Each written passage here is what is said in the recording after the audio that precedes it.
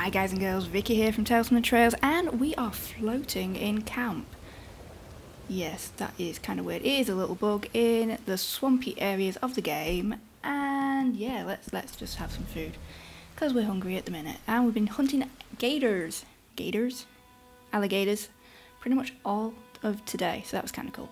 Anyway, so yeah, I came to camp to rest up and yeah, so that really didn't go to plan. It's probably to do with the uneven ground of the swamp areas itself. It, you know, the, it's like the camera sometimes jostles as you're riding along. It looks like an earthquake. It's water, mud, and all that stuff. It doesn't quite know what to do with itself. Likewise with the character, most likely, anyway. So there you go. Um, the location is shared in this video of this little, you know, thing, issue, bug, thing, whatever. So yeah, it's just random video. So there you go. Never seen it before with the character. We've seen it with the horses, like I said. Um, they, I think I said it anyway. Um, they sometimes walk up the side of your tent, which can be quite annoying, but you know, no problem.